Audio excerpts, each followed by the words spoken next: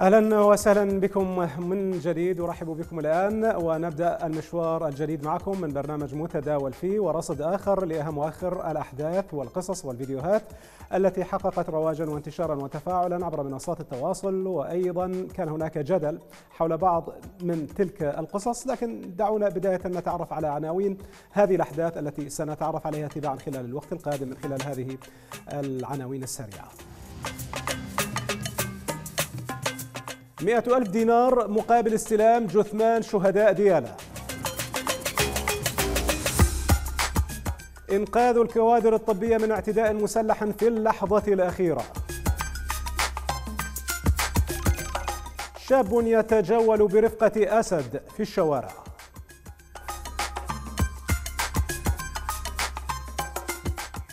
تصدر هاشتاج إطلاق استمارة الصحة واستمارة الصحة وين؟ من قبل خريجي المجموعة الطبية والصحية والتمريضية دفعة عام 2021 وتتضمن مطالبهم ب فتح الاستمارة الإلكترونية الخاصة بالتعيين المركزي والمكفولة دستوريا ووفق القانون رقم 6 لسنة 2000 والمعروف أن في كل دول العالم خريجي المجموعات الطبية يتم تعيينهم مباشرة بعد انتهاء الدراسة. وطالبوا وزير الصحة بالإيعاز للبدء بإجراءات فتح الاستمارة الخاصة بالتعيين من أجل تسريع الإجراءات وتذليل العقبات أمام هذه الشريحة من الخريجين للمجموعة الطبية والصحية والتمريضية. وتداول الناشطون على منصة تويتر عدة مقاطع فيديوية تلخص معاناة ومطالب خريجي المجموعة الطبية والصحية والتمريضية الذين رفعوا صوتهم عاليا عسى أن تتم الاستجابة لهم بشكل سريع. السلام عليكم. نحن خريجي المجموعة الطبية والصحية والتمريضية آه، لسنة 2021 نطالب السيد الوزير بإطلاق استمارة التعيينات المركزية وعدم تحميلنا أعباء تشكيل الحكومة. آه، كوننا آه، نمر بأزمة صحية ونقص الكوادر في المستشفيات. وشكرا بسم الله الرحمن الرحيم. رسالة أو مناشدة إلى السيد الكاظمي المحترم وإلى وزير الصحة وإلى الدكتور هاني العقابي وكل من يهمه الأمر.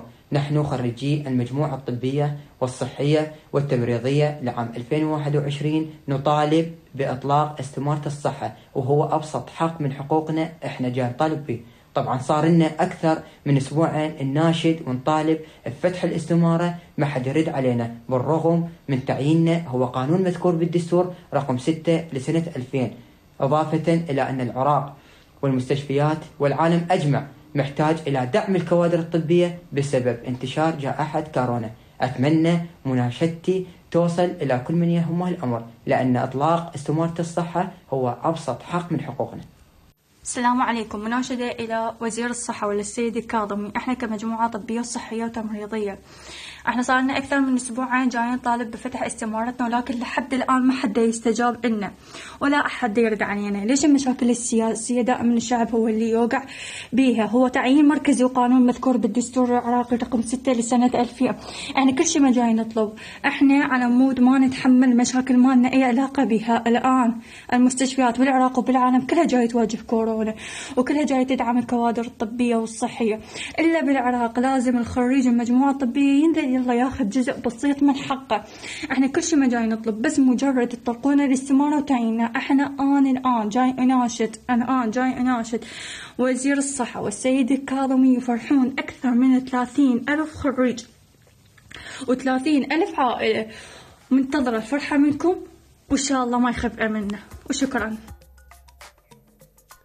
يعتبر هذا المطلب حق قانوني ودستوري كما هو حق إنساني ممزوج بروح القانون لما يمر به اليوم آه، شريحة كبيرة من آه، المتخرجين وهناك معاناة مع قضية تأجيل فتح الاستمارة الإلكترونية بالإضافة إلى الظروف الوبائية التي تستدعي الحاجة لدعم الكوادر الصحية ورفدها بالملكات الصحية والطبية. فهل ستتم الاستجابة لهذه المطالب قريبا أم سيظل الملف معقدا ومعلقا حتى إشعار آخر؟ وتبقى هذه الأصوات مرتفعة حتى يتم آه، آه، الاستجابة لهم. طبعا أيضا الضغط والتفكير وتداول هذه الهاشتاجات مستمرة على منصة تويتر وبقية محركات البحث الإلكترونية. في حين رصدنا لكم جانبا من كم كبير من التغريدات المتداولة على تويتر ونبدأها مع باقر جابر الذي غرد فقال يقول باقر يعني طلاب تريد تعيش تشوف حياتها كافحت ودرست ومرت بظروف صعبة. على مود بالأخير تحقق حلمها والتعيين حقنا. منصوص لنا بدستوركم. فكيف لكم أن تسلبون ما نصه لنا الدستور؟ هاشتاج استمارة الصحة وين؟ هناك أيضا تغريدة لسرور. أه تقول سرور أه نحن خريجي المجموعة الطبية والصحية أه دفعة 2021 نطالب بفتح استمارة التعيين المركزي لكوننا مشمولون بقانون التدرج الطبي رقم 6 لسنة 2000 هاشتاج استمارة الصحة وين؟ فكرة ناصر يغرد تزامنا مع ازدياد عدد الإصابات بفيروس كورونا من جديد وخوفا من تفشي الوباء مرة أخرى ومن منطلق المسؤولية وتحسبا لأي طارئ بات لزاما على وزارة الصحة فتح الاستمارة الإلكترونية هاشتاج الدفعة 2021 بغية إكمال إجراءات التعيين هاشتاج استمارة الصحة وين؟ أيضا تعليق من مهدي يعلق في يغرد حول هذا الموضوع فيقول إلى وزارة الصحة العراقية إلى مجلس الخدمة الاتحادي نحن خريجي المجموعة الطبية والصحية والتمريضية دفعة 2021 نطالب بفتح الاستمارة استمارة التعيين المركزي لكوننا مشمولين بقانون التدرج الطبي رقم 6 لسنة 2000 هاشتاج استمارة الصحة وين؟ أيضا هناك تغريدة من المهندس حسين هاتف الفيحان. الشجاعة في نصرة الحق. حملة الشهادات العليا منتظرين من من ينصرهم ويجلب لهم حقهم المسروق. معتصمي حملة الشهادات العليا وهاشتاج مجلس النواب أنصفوا الشهادات. هذه تغريدة أخرى أيضا.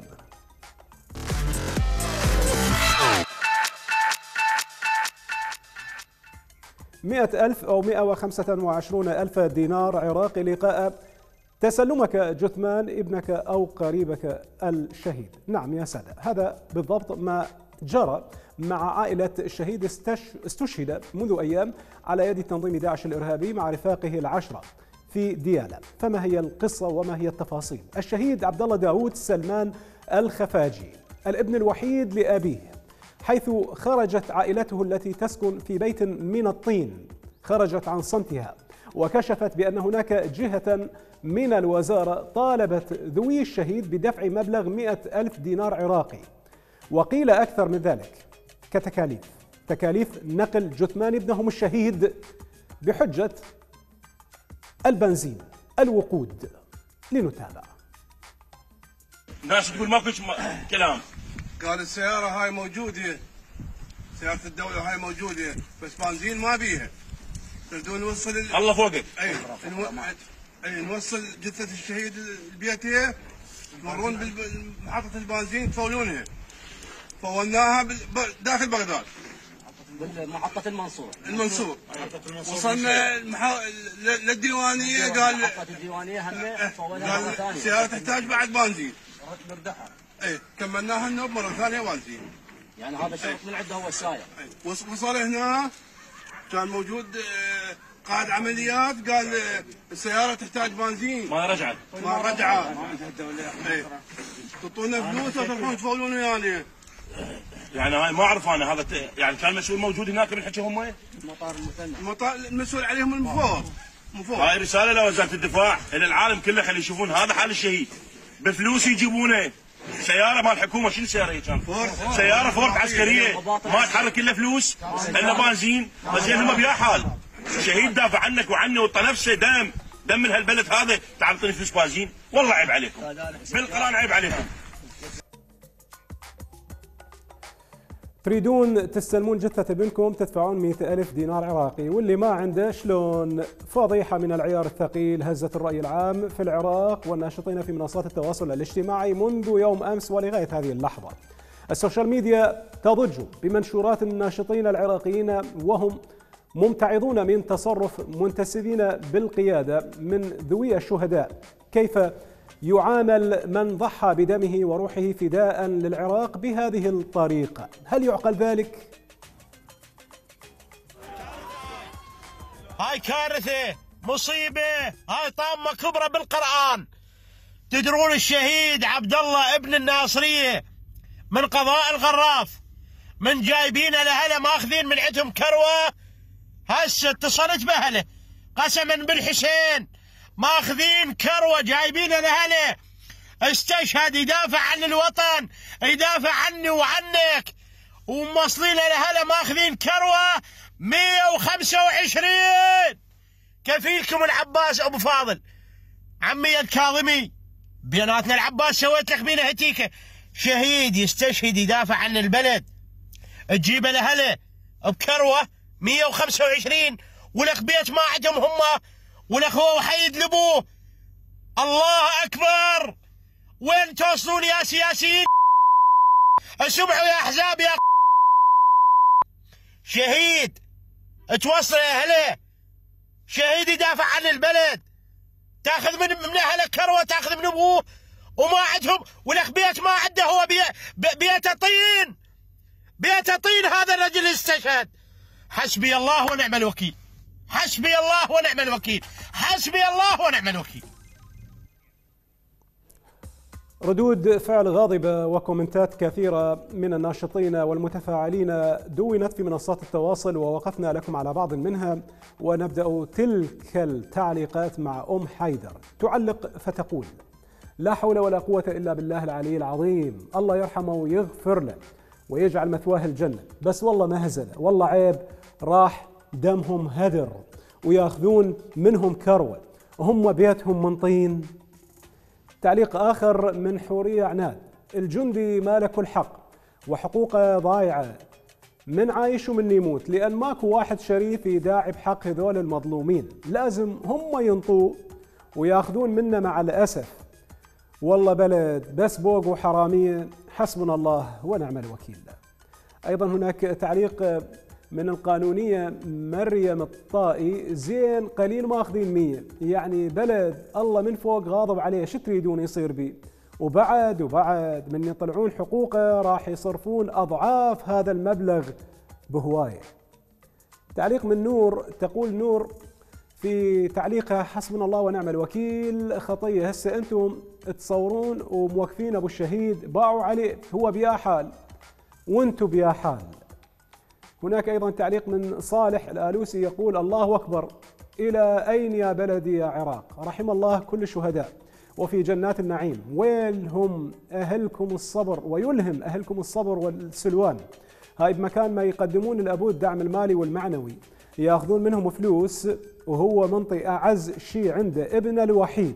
آخ يا العراق هذا حال شهدائك. أيضا هناك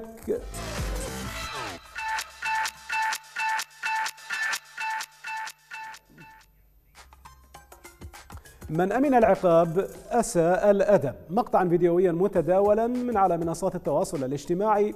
وثق ما حدث ليلة أمس في محافظة كربلاء. تحديدا بالقرب من مدينة الإمام الحسين عليه السلام. فما الذي حصل؟ مشهد واقعي غير مقتطف من أفلام السينما الأفلام الهوليودية أو البوليودية. وجسد حالة من الفوضى والهلع الذي أصاب المواطنين المواطنين ومنهم المراجعين. وكذلك الكوادر الطبية جراء استخدام السلاح وإطلاق العيارات النارية الحية بشكل كثيف ومخيف. لنشاهد وللقصة بقية.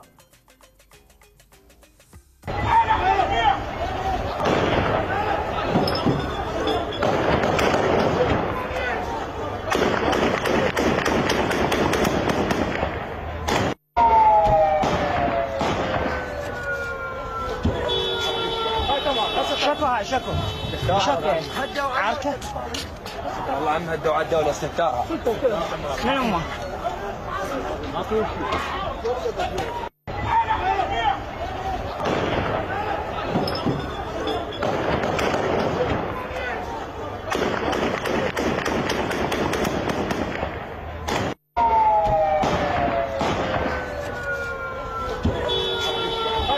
شكو هاي شكو عركه والله عم هدوا على الدولة استهتارها من امه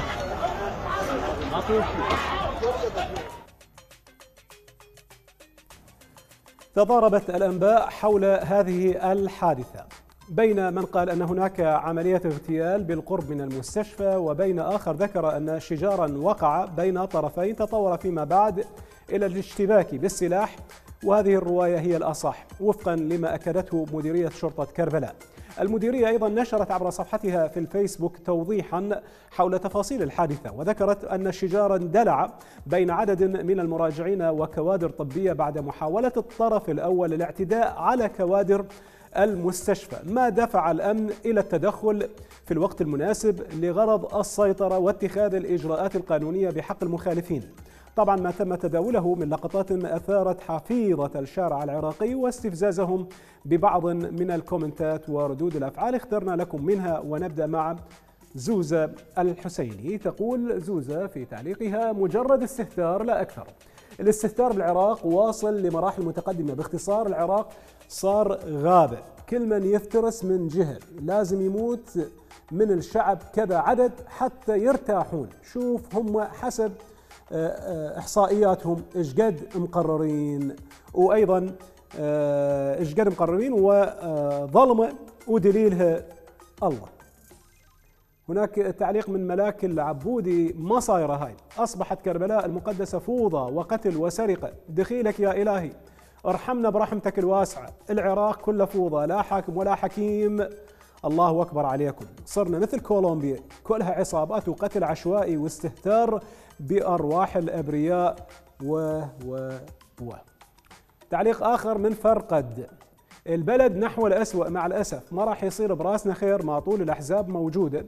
وغياب الدولة عن المظاهر المسلحة والقتل العشوائي. ناهيك على أن الرشوة قائمة في مراكز الشرطة. إذا الضابط يرتشي والمفوض يرتشي والموظف يرتشي. بلد دخل الحرام ببطونهم مع الأسف. تعليق من علوش الزعيم يقول علوش قال تعالى وإذا قيل لهم لا تفسدوا في الأرض قالوا إنما نحن مصلحون ألا أنهم هم المفسدون ولكن لا يشعرون. صدق الله العظيم. لا حول ولا قوة إلا بالله العلي العظيم. إحنا وين عايشين؟ مهزلة. والله مو حياة. وحوش ناس تقتل بناس ودولة فاقدة الذاكرة.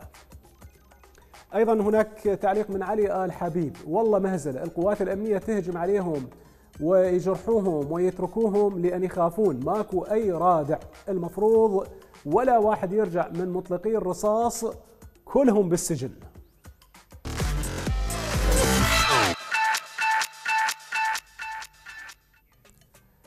شجار بسيط على إثره أصيب أحد المواطنين بجروح ويفتح جبهة من نار قديم بين عشيرتين. القصة من محافظة ميسان. قضاء الكحلة تحديدا والتي شهدت نزاعا مسلحا مخيفا. كالعادة يوم أمس وتسبب ذلك النزاع بذعر ساكني القضاء بالإضافة إلى عدد من القتلى والجرحى نتيجة هذا الصراع الدامي أو النزاع الدامي ما بين العشيرتين.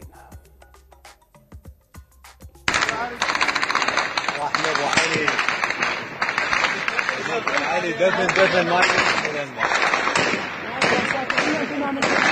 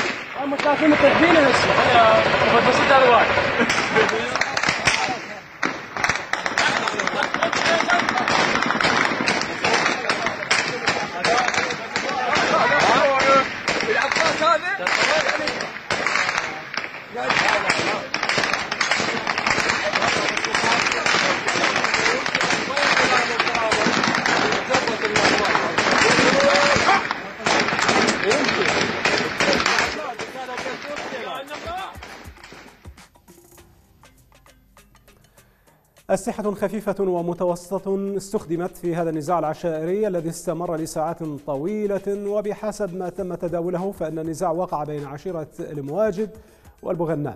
وكحصيلة أولية النزاع أسفر عن مقتل شخص وإصابة أربعة أشخاص آخرين وفقا لما أعلن عنه من خلال مصدر أمني. وأضافوا أيضا بعد خروج المنطقة عن السيطرة هرعت قوات الأمن لموقع النزاع وأجرت سلسلة من عمليات الدهم والتفتيش لمنازل المتسببين بالحادثه فيما نقل عدد من المصابين بسيارات الإسعاف من أجل تلقي العلاج في المستشفيات القريبة. الآن لننتقل إلى منصات التواصل ونقرأ جانبا من ردود الأفعال والتعليقات الواردة على ضوء هذا النزاع العشائري ونبدأ من عبير الزهور. تقول عبير الزهور في تعليقها من يصير الصبح.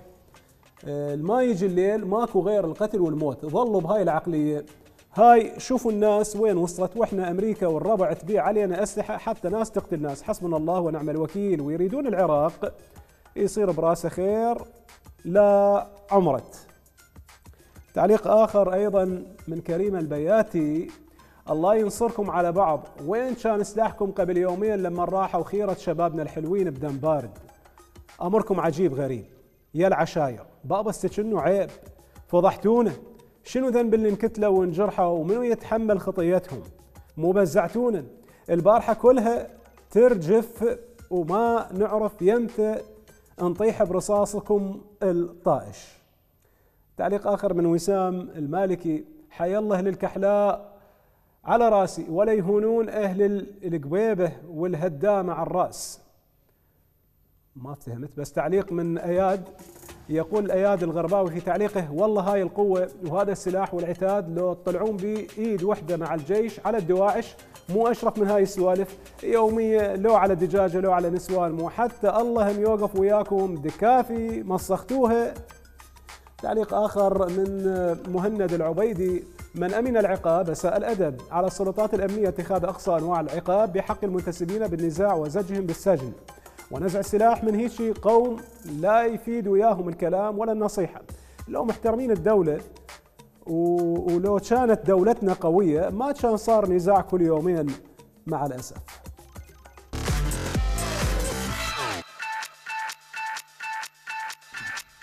الأسود والحيوانات المفترسة كنا نشاهدها في حديقة الحيوانات مثلا ومن خلف الأقفاص الحديدية وعلى مسافة آمنة. لضمان السلامة العامة وهذا هو المعمول في كل بلدان العالم حتى في العراق. لكن في العراق انتعشت مؤخرا تجارة الحيوانات البرية والمفترسة وأيضا لوحظ في الفترة الأخيرة ظاهرة التباهي بتربية الأسود والنمور والدببة أو التقاط صور معها والتباهي بها بل وحتى التجول برفقتها وسط الشارع وأمام المارة أمام الأطفال والنساء والمسنين والشباب أيضا وتصوير ما يحدث من ردود أفعال كمقطع الفيديو الذي سنشاهده للرجل الذي يصطحب معه أسد ضخم ومرعب وكبير وهو يحاول أن يهجم على بعض المارة ممن يراهم في طريقه كما سنشاهد.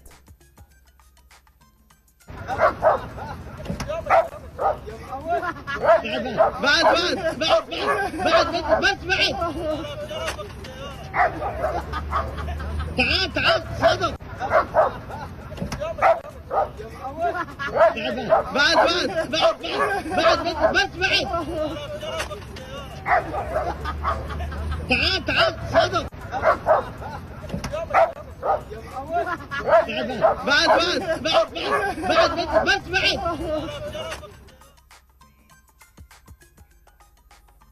لا نعلم هذه الحادثة في أي محافظة أو أي مدينة لكنها انتشرت على منصات التواصل وتنص المادة 2 من قانون حماية الحيوانات البرية وثروة وطنية. وعلى المواطنين والجهات الرسمية حمايتها وتجنب إيذائها أو الاعتداء عليها ولا يجوز صيدها إلا لأغراض التجارب العلمية بعد الحصول على الموافقات الأصولية. وفق أحكام هذا القانون. أما فيما يخص الأسد الذي يتجول برفقة مالكه أو يقتاده فقد ولد ردود أفعال مختلفة وانتقادات متباينة اخترنا لكم بعضا منها والبداية ستكون مع محمد الذي علق فقال. يقول محمد في تعليقه المفروض الشرطة تتدخل لأن هذا فعلا استهتار. هذا أسد مو بزونه حتى طالع بيه بالشارع. تتونس عليه. إذا فلت منك يتهجم على واحد يكتله. بس هي الدنيا فيطي اللي خلت أسد بيد العراقيين مشدود. تعليق آخر من يونس يقول بعد عراقي وصار عنده أسد راح يقرع العالم ويخبلهم ويتجاوز عليهم ويخوفهم على أساس مشتري بزونه وإذا عض بالناس وأكل واحد شو نسوي؟ مو المفروض الشرطة فورا تلقي القبض عليه هو والأسد ماله والنوب يضحك ولا يم الموضوع. تعليق من ستار يقول ستار المفروض أكو قوانين مو ياهو اللي يجي ويفيك ويطلع بالأسد مالته ويفتر وين إحنا بالهند والنوب صايرة مودة مال ياخذون صور ويا الأسد. كلهم صاروا مربي أسود براسنا. ومن تصير صدق يطلع يقول والله ما علي ما أعرف. أيضا هناك تعليق من مهدي محمد ماكو رادع قانوني ولا أخلاقي وهذا لازم ينزل بأقصى العقوبات وينسجن فورا ويا الأسد مالته. سوى. ومن يجوع الأسد أول شيء يتغدى به. ونخلص منه ومن النماذج اللي ترهب الناس وتخوف بالأطفال وبالشوارع. شنو عندكم؟ عقدة نقص؟ حتى تطشون. أيضا تعليق من علي عبد الله لا تكبرون الموضوع وتسووها قصة وتطشون برأس الأسد. ترى هو مجرد شقوة يا اصدقاء مثل ما شفتوا ومبين الأسد مدرب وأليف وحباب وما يعض بس يتشاقى والظاهر المربي من هو وصغير يمه فلا تكبروها وتلوصوها. هناك أيضا قصص وأحداث أخرى سنتعرف عليها خلال الدقائق المقبلة لكن أيضا دعوني أعرفكم بعناوينها. بالهلاهل والهوسات سائحون عراقيون يزفون عرسان لبنانيين. تجمد مياه الإسالة بسبب انخفاض الحرارة. سيدة لبنانية تغني لفيروز أثناء ولادتها.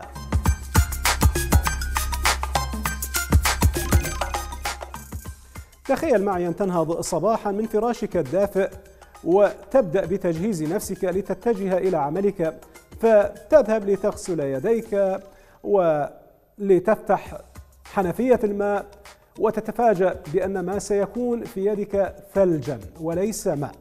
لا نستغرب فكل شيء متوقع في فصل الشتاء مع انخفاض درجات الحرارة الكبير وهذا ما حدث فعلا في كثير من المدن العراقية مع انخفاض الحرارة ووصولها في بعض المدن إلى ما دون الصفر المئوي. إذ رصد مواطن في قضاء تصخر ماتو رصد تجمد مياه الإسالة بالكامل عبر مقطع فيديو.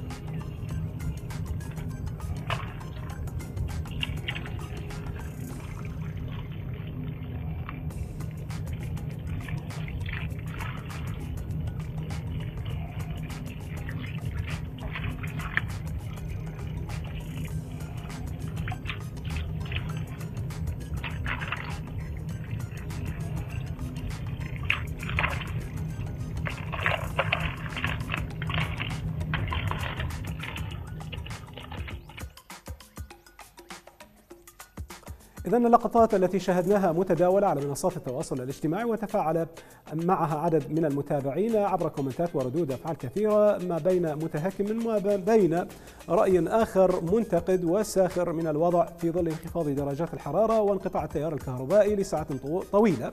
ما أثر على أنابيب المياه والمياه داخل خزانات المياه على أسطح المنازل والمباني؟ نبدأ تلك التعليقات مع سلمان الشمري فيقول في شقلاوة الأنابيب جامدة منذ أربعة أيام وبالتالي ما ينزل الماء في الحنفية ونفس الشيء بالأنبار. الإسالة ما تجري ويضحك. آه، قمنا نغسل بالثلج بدل من المي. أويلي عليك بالصيف. إيش بيك؟ ميزات وميزات وكنا ظالميك. إيش بيك ميزات وكنا ظالميك؟ تعليق من ثريا مهدي. الله يساعد عامل البناء اللي يشتغل بهذا البرد. وأيضا الله يساعدنا إحنا النسوان. دق شغل وتنظيف وغسل مواعين. عود الرجال يقدر هالتعب لا. أيضا هناك تعليق من عبادة نور. لو يصير أخزن من هذا البرد لشهرين تموز وآب. كان عبيت شكمقونيه وبالحر كل يوميه أفتح فتقونيتين برد. والله هاي حوبة الصيف علينا. إيش كثر ما دعينا نخلص منه جانا شتاء اقسى وفوقاها لا غاز حتى نشغل الصوبات ولا كهرباء مستمرة. لا إله إلا الله الواحد. شلون يسبح؟ تعليق آخر من محمد العيساوي. صدق كذب. وين الدولة غير لازم تحمي المي أقول لكم كذب ما معقولة. يجمد لأن المي جاري على أي أساس يجي من الحنفية جامد. فهموني. تعليق آخر من علي محمود يقول اليوم الصبح كثير ناس عصت بال WC لأن بصراحة تفتح الحنفية تلاقي المي جامد فتقعد تنتظر يمتى المي يجي ويذوب الثلج. الشعب بكل شيء مميز حتى بالشتاء. وبعد شو تريدون قوالب ثلج لبيتكم توصلكم وقولوا الحكومة مو بخدمة الشعب.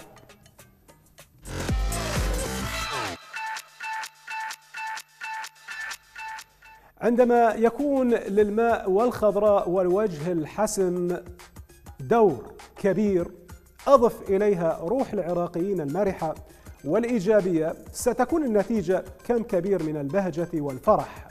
إذ انتشر مقطع فيديو لجروب سياحة عراقي لعراقيين في لبنان أثناء مرورهم بالصدفة من أمام زفة عرس لبنانية فشاركوهم الفرحة ولكن على الطريقة العراقية بالأهازيج والهوسات والهلاهل والجولات العراقية المعهودة مما أضفى جوا إيجابيا مع تفاعل العريسين اللبنانيين ودهشتهم أيضا وسط أصوات هلاهل النسوة في ذلك الجروب لنتابع. فرحة ويانا فرحنا ويانا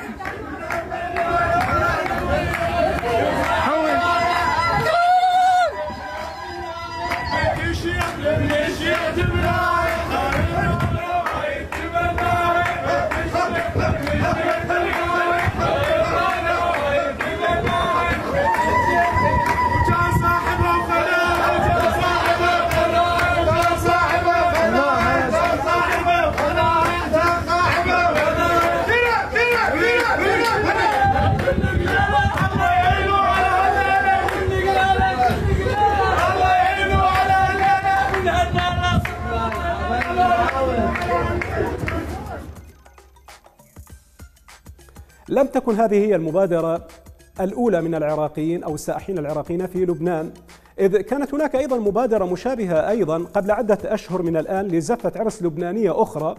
أيضا التقوا عن طريق الصدفة مع العراقيين مع جروب سياحي آخر وأيضا فعلوا نفس الشيء. مبارك مبارك مبارك.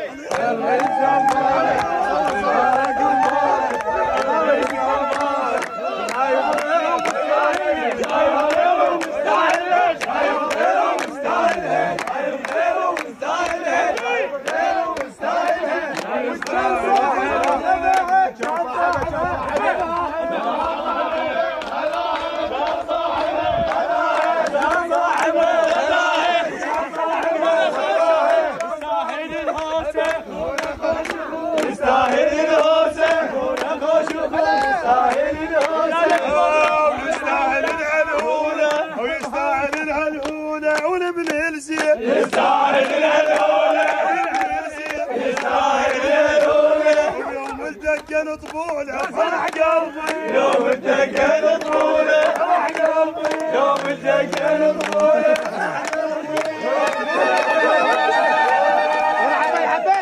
وبصوص روضك عقبها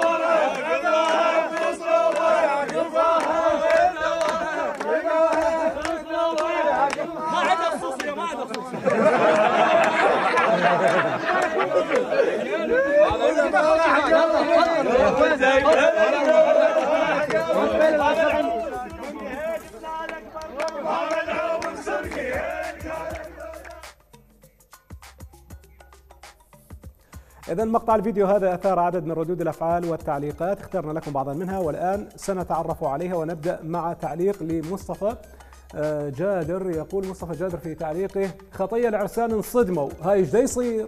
وبعدين إيش مدريكم كان صاحبها وخذاها. ويضحك. والله أجواء العراقيين حتى هوسة باللبناني سووا. برافو. هناك تعليق من نجمة البحر. لك يقبرني العراقيين شو مهضومين وحلوين وكيوت وأحلى ما فيهم خفه دمهم اللي مثل السكر والقشطة البلدي. عملوا شو وأجواء حلوة ما بتتنسي. ربي يحفظكم. أخذكم من العراق. تعليق من ميرزا. أجواء الهلاهل والتصفيق والهوسات تخلي العريس يردح بس هذا العريس خطية تفاجئ. ما متوقع العراقيين راح يقتحمون الزفة بهاي الهوسة وهم فرحانين ومغيرين الأجواء. لك فدوه للعراقيين وهضامتهم. هناك أيضا تعليق من مرتضى سالم العراقي برغم المآسي والجروح والحروب وحتى لبنان تلقاهم أحلى ناس ونياتهم طيبة. وينحبون وهسه كل الوطن العربي عرفوا إنه العراقي ماكو مثل حنيته وطيبته. ربي يحفظ الشعب العراقي من كل شر يا رب وتحية للشعب اللبناني. تعليق آخر من سلوان جمعة. مرة كنا بلبنان هم شفنا نفس هيك زفة. العريس قام يردح عراقي. علمناه بسرعة والنوب قام يرقص شوبي والنسوان تطش شكليت وعبالك عرس واحد من اهلنا مو واحد غريب المهم إحنا ماكو مثلنا. فدوه إلنا.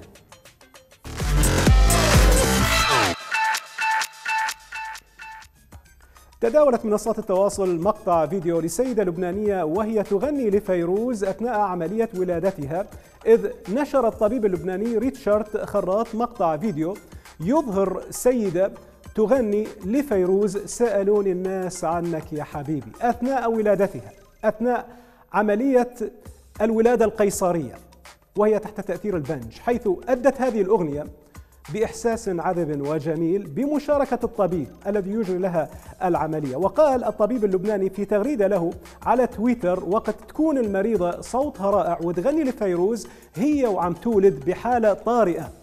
هي بتنسى الخوف وبتنسيك كل شيء سلبي عم يصير.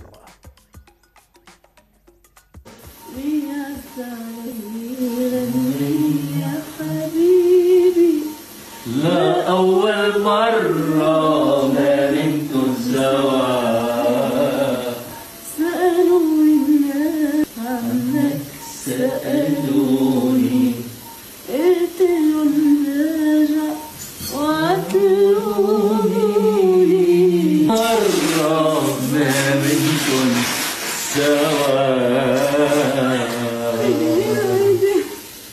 إيه مهضومة؟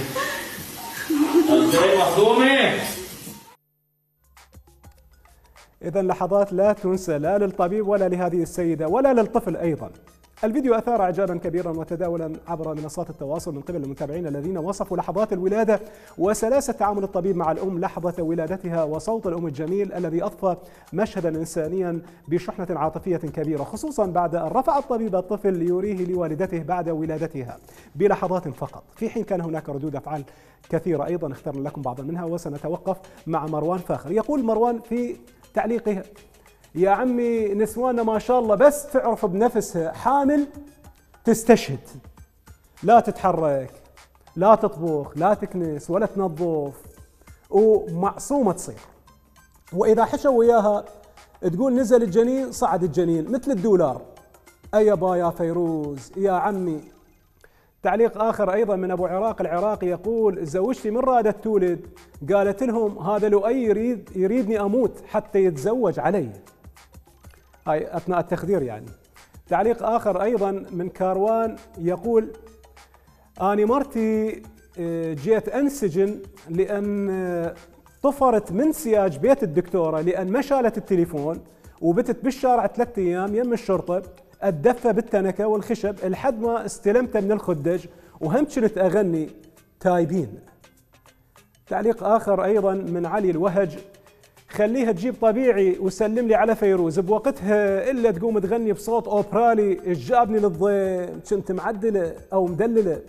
تعليق من سيرين سلوم. تقول سيرين في تعليقها على قد ما المقطع أثر فيه وأسعدني على قد ما التعليقات السخيفة بتسد النفس. كل إنسان بيختار الطريقة المناسبة له واللي بتنجح في التخفيف من توتره سواء كان تلاوة قرآن أو ترانيم دينية أو موسيقى وفن. عدا أنه هي تحت تأثير البنج. الآن وصلنا بكم إلى ختام حلقة اليوم من برنامج متداول. إن شاء الله سيكون لنا لقاء آخر يوم غد مع أحداث جديدة وقصص رائجة على منصات التواصل الاجتماعي. وسنكون معكم بالتأكيد. حتى ذلك الحين أترككم بأمان الله وحفظه. تقبلوا تحياتي وتحيات فريق العمل وعلى رأسهم الصديق علي البحري مع السلامة.